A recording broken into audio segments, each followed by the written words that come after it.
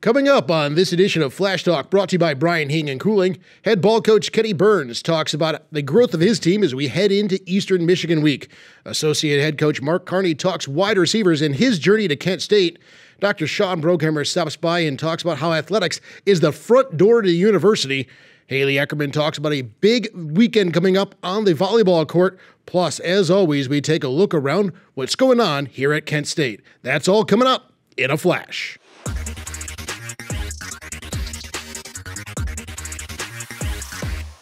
And welcome back inside the GFTV studios. It is another episode of Flash Talk brought to you by Brian Heating and Cooling. Dan Griffin alongside head ball coach Kenni Burns. And coach, a, a, a tough one against OU, but a lot of positives to, uh, to take away from it. Uh, another big time game and a couple of touchdowns for Chrishon McCray. yeah, he's he's putting together a pretty good year, I'd say. Uh, no, you know, a good learning uh, learning uh, opportunity for our, our team. You know, we got better as a football team, but we're still a ways away. You know, I thought we played a quarter and a half of really good football. You know, and then we just got to put that accelerate in the middle part together. Uh, but like I said, we're a young football team, you know, so we're learning each week how to get better. And you're seeing like guys like Rashawn, Jamil, uh, you know, Justin Holmes start to kind of come into their own, which is a good sign. You mentioned starting fast. I thought you guys uh, closed strong. Uh, you, the first team this year to score in the third quarter against Ohio, and then a late touchdown, but big time goal line stand. I, I know that uh, the score doesn't show that, but I mean, making four stops against a, a high powered offense like that inside the five really kind of to me emphasizes that that grow and respond part that you're you're preaching. Yeah, you know, I thought we finished the game okay and pretty strong. You know, we got a late touchdown with, with Tommy in there, and our defense got the the stop on fourth down. It's one of those deals where we just got to get that accelerate in the middle part figured out. And it, typically, what's happening is there's a little bit of adversity in the middle, and we we got to learn how to respond to that. You know, I think that's where it gets away from us. But you look at that game with about four minutes left to go in the second quarter. It's a seven-seven ball game against the team that's really picked to win the East. You know, so we're right there. And, and the one thing I love about this football team is they continue to work. Uh, they went back to work on Sunday. Uh, they're back to work today, and they're just eager to get better and that's what you want. Absolutely, and they get another opportunity to, to do that against Eastern Michigan, a, a team in a led by Chris Creighton that has done really a, kind of a remarkable job and just been a mark of consistency over the last several years. Yeah, Chris does a great job. They, they, they do a good job of just playing hard and together, and they're sound football team. They don't beat themselves, which a lot of these teams don't. Uh, but we'll have a we'll have a total challenge going up there and trying to beat that football team. Eastern Michigan year in and year out, game in and game out, seems to find a way just to hang around. Yeah, they're just sound. You know, they they, they run the ball on offense and they don't put their quarterback in, in dangerous situations. And he's sound. He knows the system really well. Then defensively, they keep the ball in front of them. They tackle well. They limit the explosive plays. So well, you got to come out there. We got to play well. Like every week in the MAC, you got to play well. You got to play clean. You got to protect the ball, and you got to find a way to get explosive plays. This team is eager to grow and to respond and get better. So, what have have you seen as far as your your messaging, and then obviously the the result and the work that you see, but that you see behind the scenes in practice that many of us don't. That is is a mark of that. We're we're we're we're gonna we're we're figuring this out. Yeah, I think you, when you look at how they work you know, we always talk about the how. We want to have an unconquerable will when we work and not let the, the result dictate our behavior. And you're seeing them just get back to work. And, you know, you look at who we've played right now. We've played some really good football teams. You know, UCF team that's a bowl team, uh, uh, Arkansas, who's the SEC opponent, then Fresno won the Mountain West, and and Ohio won the league last year, uh, the Eastern, and Miami's picked to win it this year, I believe. So we, we've got to see where we're at to some really good competition. And what we found out is that we haven't won the games, but there's been situations where we've been in it, and we've been right there, and we're not that far off. So you know, we got some winnable games coming up here, and, and if we can put some things together, hopefully we can start putting some W's on the win column. Like you've mentioned, there like you're in that game with Miami, and a couple of plays break one way or the other on uh, with the explosive side, yeah. and we're talking about a completely different uh, result. And the same thing can be said about Ohio because for up until four minutes, that's a seven-seven ball game, and then you guys drive and start right back up in the third quarter yeah. and dictate the tempo once again. And and you can see that this team is is, is starting to, like you said, figure things out and, and growing each and every week. Yeah. Yeah, we are, and we just got to keep putting our head down, getting to work. And I told him, I said, we got to get out of, out of the shoulda, coulda, woulda game and start putting some putting some results on that we, we want. But we'll never ever put a dictate our success based on the result. Uh, we'll look at can we grow and how do we grow. Even when we win, we'll start looking at how can we get better. And I think that's what a championship culture does. And I think we're working towards that. And it's like the the old adage. I'll, like my daughter has a shirt that says, "I be patient. I, I I grow patiently. Good things take time, and that and and you see Very that, like over that. over over weeks uh, over weeks. Like this is taking time, and you can see the thing is really starting to grow together. Yeah, for sure. No, I, I, I like that. I steal that from her. There we go. You're, it, it's all yours. Uh, It's going to be Saturday at noon on CBS Sports and, of course, the Kent State Radio Network. Head coach Kenni Burns, thank you as always for a few moments of your time. Yeah, thank you, and we appreciate all the support. And go Flashes, Kent Grit. Welcome back inside the GFTV studios.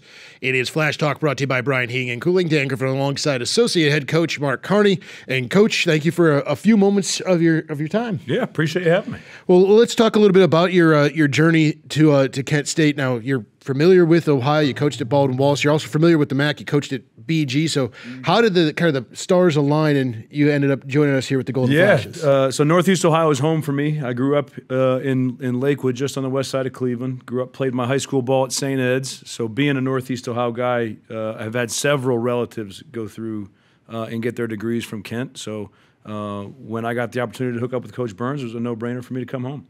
Well, awesome. We're, we're glad to have you, and you work with the, the tight ends and the, the slot receivers, as you guys call them, the the big The slots. big slots, the big slots. That's right. Yes, sir. And uh, well, a couple of guys have really jumped off the page. There's really been an emergence of Justin Holmes, uh, is who is a traditional tight end, and then Chrishon McCray, who's was on our show last week, and I almost equate him to a little bit like a Deebo Samuel, where you just get him the ball and let him do do some he's things. And most of that of that in him. most of that is out of the slot. Absolutely. No, I think those young guys are are growing into their games. They're finding out a lot about themselves. And you know, Justin played a little bit as a tight end last year. Uh, Chrishon not so much, but the emergence of those young guys to add to Hayden Junker and Luke Floriea, who have, who have played a decent amount of snaps, has been really cool. Uh, I'll kind of ask you the, the age old question about the, the chemistry between Mike and Tommy and and those uh, and the and the brand new receivers because I mean it's no secret that this is a, a brand new offensive unit, especially when it comes to the the outside guy. Absolutely. No, I think I think uh, you know you'd love to have and build consistency. I think it's hard in, in group of five football to do that a, a, a bunch, uh, at least consistently. But you know the relationship and the reps that those guys get in the summertime and throughout training camp, and you know now you're in week seven of the season. Um, there is a there is an established connection there and trust built throughout throughout time over time. Any success is that entire unit success, and that goes from and that goes a position by position, and that tells me that yeah, there's some friendly competition because everybody wants to start or get to the ball or, or do that, but they realize that they're all putting in the same kind of work, and this is and, and this is everybody's best result. That's the togetherness and grit, right? It's it's doing it with your teammates. It's doing it together, and you know, as you as you um, you got to be committed to celebrating the other guy's success, right? And Luke's got to be committed to celebrating Justin's success, and Justin has to be committed to celebrating Chrishon's success, and it, it's it's our success. It's a team success. It's not just one guy. Right. And with this being such a, a brand new unit, especially Chrishon, who came in ideally kind of as a weapon X, he played running back in high school. What has been his biggest transition from the, let's use the G in grit, in the, in the growth, as he's kind of really learned a, uh, a brand new position? Yeah, no, he's he's a, a a very talented player, a very very talented player, and I think the more you can do and the more you can know, it makes you a, a better player. So, uh, you know, he he got the inexperience, rust dusted off his belt in those first two games, and and now I don't treat him as a redshirt freshman anymore. You know, he's a he's a bona fide guy that's made plays, and we're we're counting on him to do that moving forward. Now, obviously, we talked a lot about Justin and Chrishon, but you mentioned Luke and some of the other guys who have really kind of done that work behind the scenes that you're that we can kind of expect over the next few weeks. Going, they haven't gotten there yet, but watch out because the, these guys are coming along at a nice clip. Yeah, I think I think Luke, um, you know, hasn't hadn't had the production from a nun- number standpoint, but he's he's running a lot of winning routes against man coverage. He's uh, assignment sound. I think his touches will come as we continue to progress. Uh, you know, I think more young guys, Dash Dorsey and Jared Kelly and Preston Taylor, and uh, you know, I think our room is deep, and and we'll we'll get into that as the season progresses. We look forward to it, seeing them shine uh, on Saturday against Eastern Michigan. Again, it's a national TV spotlight on CBS Sports. Coach Carney, thank you as always for a few moments of your time. Absolutely, appreciate your time. Go Flashes. Let's take a look at what's going on around Kent State Athletics, brought to you by KSUTix.com.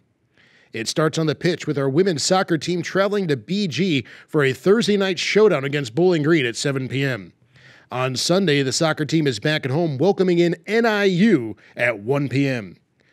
It's a doubleheader weekend for field hockey. On Friday, they host the Miami Redhawks at 1 p.m. in the annual Halloween game at Murphy Mellis Field. Then we honor our seniors on Sunday as your Golden Flashes take on Lock Haven at noon.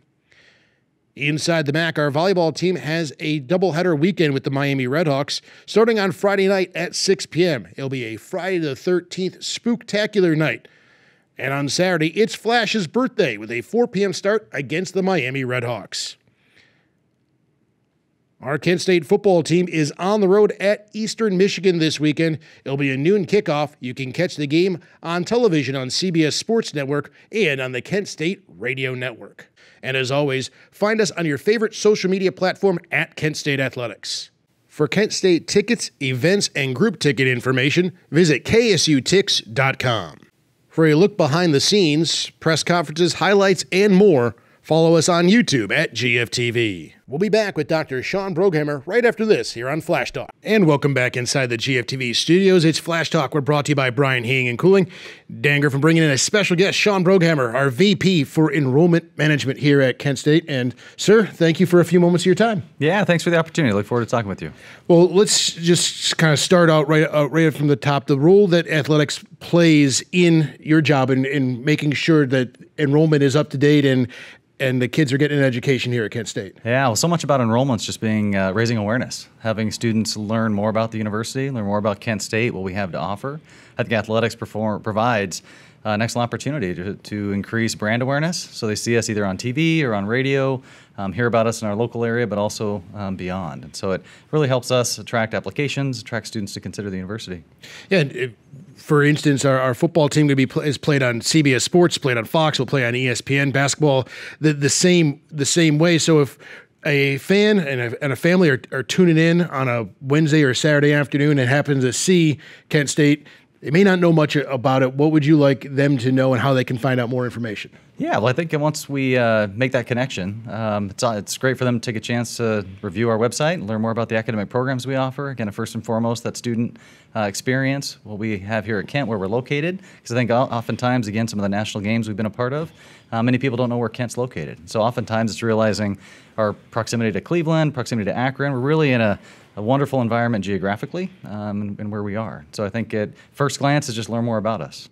Yeah, and uh, October, obviously a prime time. It's always a time to uh, enroll here at, at, Kent State, or at least apply to at Kent State. But you guys are doing a, a little something special for those that are going to be applying maybe a, a, little early for next year. We are. So we just kicked off this weekend our free application month. So for all high school seniors that are looking to apply to colleges, uh, uh the application fee is waived. So we're looking forward to students applying um, having us uh, as one of their options. Now, you guys obviously don't just stay here at Kent. You go out and, and you see the, the people. So, talk a, a little bit about where people can find you. I know there was a college fair here uh, a few weeks ago, but you guys are always obviously out and about where and, and recruiting students from all over the place. We are. So, we actually have uh, regional counselors based as far as Chicago, down in Charlotte. Um, really do a lot in, of course, the state of Ohio. So we do have large events coming up in the Columbus area, down in Cincinnati. Uh, we did have the college fair you mentioned. We had over 1,000 students on campus last week. Um, and then we'll do a lot, of course, in the Western PA uh, as one of our primary recruitment areas. Well, obviously, uh, next year, for those that are uh, not aware, the football team will play at Pitt, uh, at Pitt and at Penn State. Easy for for me to say, but that's got to be uh, a, a great pipeline, a great opportunity for for you to go out and kind of see that those worlds kind of collide and intersect. It is. Some of our larger football games the past couple years have been a little outside of our recruitment footprint, uh, but this definitely brings it closer to home. And so we're looking forward to hosting some events there, uh, not just for the students, but for school counselors. So we like to bring other people in to learn more about the university uh, while we're in the area, kind of piggyback on the, the football game and, and those types of things. Well, that brings me kind of my, my next point. One of my good buddies is one of those high school uh, counselors and recruiters. When you guys build a relationship with those high schools, how does that kind of uh, how does that relationship develop so you can kind of be the the voice behind the voice, so to speak? Yeah, I think most importantly, it's about communication. It's about helping keep them informed about any changes at the university. Um, you know, over the last couple of years, we've had huge changes. We've gone test optional. Uh, again, you'll have things like um, new majors will come online or expansion. Think about the College of Business and what's happening there. Uh, think about our engineering expansion, new building there as well. So really, the relationship we have with counselors, I think, is vital. Um, and the years past, I remember a quote a counselor told me is never underestimate the influence that a school counselor has on a student and a family. Because many of our students are first generation, uh, or the first in the family to go to college, and so oftentimes that's the resource they look to. And so we want to be top of mind for our school counselors. When I when I talk to coaches, one of the things they always kind of point to is they want cranes on campus. That means that there's things are building, things are expanding. We, you, you, mentioned some of the expansion that's going on. What are some of the, the exciting things that you're seeing uh, on the horizon here for Kent State? Yeah, I think that's two of them. I think it creates the vibrancy. I think in the last decade, things have changed dramatically with campus and our community. We look at the, the relationship with our uh, campus and our downtown community, and the new conference hotel, of course, was built, the revitalization of our downtown. They're really a synergy between the two. Um, so I think that's going for us. Obviously, as you mentioned, the cranes, Ambassador Crawford College of Business, uh, and that new building, and then our uh, engineering and uh, aeronautics as well. Now, the, the, there's a really quickly, just again, when, Kent State plays on a national level and you see that that excitement, that national exposure, do you do you see a, a, big uptick or at least some more information being flooded in on, on your back end? Occasionally, we'll see a little uptick on the website, um, but I think what it really provides is that connection to our alums. It provides connection to students who may be considering, but it's really our alumni base that we want to energize, that we want to have speak on our behalf and talk about their wonderful experience that they had, and how much other students would benefit from something similar. Sean Broghammer, VP for Enrollment Management. Thank you for a few moments of your time and uh, best of luck going forward. Yep, thank you. Appreciate it. Back with more Flash Talk brought to you by Brian Heating and Cooling right after this. Welcome back to Flash Talk. We're brought to you by Brian Heating and Cooling.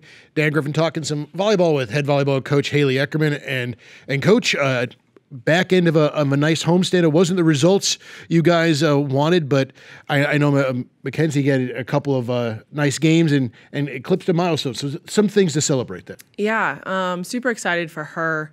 Um, and, it just shows that the, the athlete that she is, um, that we're, you know, halfway through her sophomore year and she's already got 500 kills. Um, I don't know whether as a coach to be excited about that or, you know, that means that we're giving her a lot of balls. And so you go back and forth of like, wow, that's great, but then you're like, wow, we, we're depending on her a lot. Um, but I think it's huge, and and she just continues to get better and, and wants to get better and wants to help this team. And she's one that's just pouring out every single game and is exhausted after every game too. Um, does a really good job at leaving it all on the floor. It also says something to when if she is that that volume scorer for you, that defenses are going to key in on her and a lot of times it does matter. mm-hmm. Yeah, you you can see that the scout plan is always against Mackenzie, um, and, and, she's continuing in practice to work on more shots and how to you know be still successful. Um, with knowing that everybody's going to kind of be honed in on her, you know, I think you see it more as she's getting served a lot. And I told her, you know, they're going to pick on you. So trying to get her in that mindset um, to be mentally stable and strong throughout the whole match, um, knowing that they're going to try to you know serve her off the floor and take her out as an offensive option. Yeah, and I mean it's one thing to serve receive, and then now you're basically in charge of kickstarting that mm-hmm. that offensive possession and and really like like you've said you are looking for this very young team to kind of gain some consistency and, and, grow each and every week and and a milestone like that I think is something that everybody can kind of rally around. Yeah, you know I think it's huge whenever we can do that. Bryn's coming up. Um, on Friday shows she's nine away from a thousand digs. Um, so we're continuing to just grow in those aspects, and I think that that's huge. But um, just being able to showcase it and, and, to be a supportive teammate, I think, is big for our team as well. Yeah, and, and, and it's going to show again this weekend. A lot of uh, a, a, couple of very cool promotions we've got going on as we welcome in Miami, and that and again that's a a rivalry and East Division opponent that you guys obviously every MAC game means more, but something tells me that these East Division games are kind of circled on the calendar a little bit. Yeah, it's one of those that every game we're going to have that target. And I kind of talk to the girls like you're either on the hunt or you're the one being hunted. And so you've got to figure out which one you want to be going into every match. And um, Miami is, is, an overall good team. You know, their coach has been there for years. Um, she's amazing, and I think she does a really good job at teaching the fundamentals of volleyball.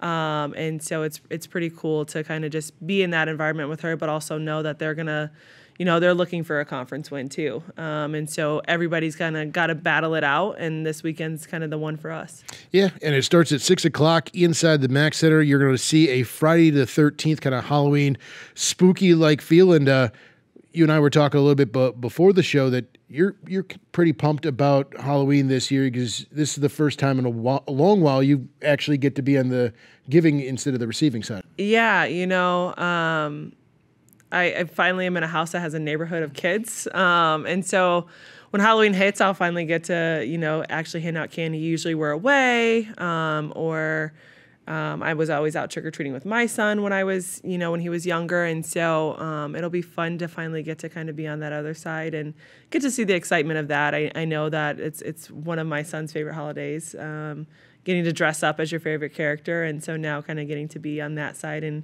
almost feeling like that adult world now, um, in a sense, but finally getting to actually be home on a Halloween and, and do that. Well, plus you've also got to do the quality control to make sure the candy is is all right. Is there a go to? Uh, mom tax or you know this is this is quality control. I'm I'm making sure that the Twix is good. Yeah, you know, and it's crazy too now that you say like the mom side of it. Like I kind of got to not being the boring person, but like the crackers and like the goldfish and different things. Now understanding as a parent, like some kids are allergic to candy. Um, I have a goddaughter who is allergic to peanuts. And so like now I'm like, okay, I've got to make sure I can, you know, have enough for this kid if they're allergic to this and always having those. So now it's kind of fun of like the shopping piece of what actually candy I'm going to go get. Oh yeah, you get the variety pack and then let them pick out Yep. what's best for uh, for everybody. But then Saturday is Flash's birthday at, at four o'clock, so a lot of things to celebrate. KSUTix.com to come see you guys get a couple of Mac wins. Yes. That's going to do it for this edition of Flash Talk, brought to you by Brian Heating and Cooling. Join us next week when we take another deep dive into the world of Kent State Golden Flashes athletics. For all of us inside the GFTV studios, this is Dan Griffin saying goodnight and go Flashes.